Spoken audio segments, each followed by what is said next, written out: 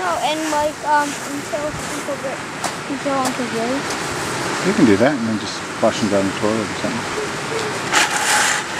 Whoa.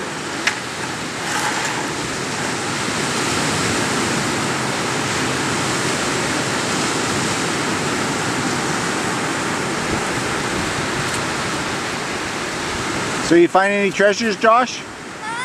Did you find any treasures?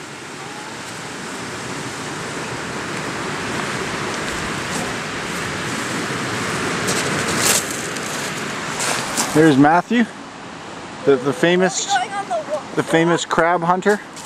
I want to get a crab, but they're saying they're too small.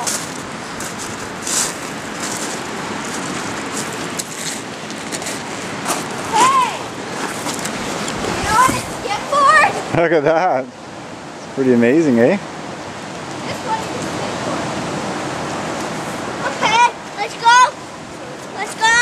Where do you want to go? Crab hunting.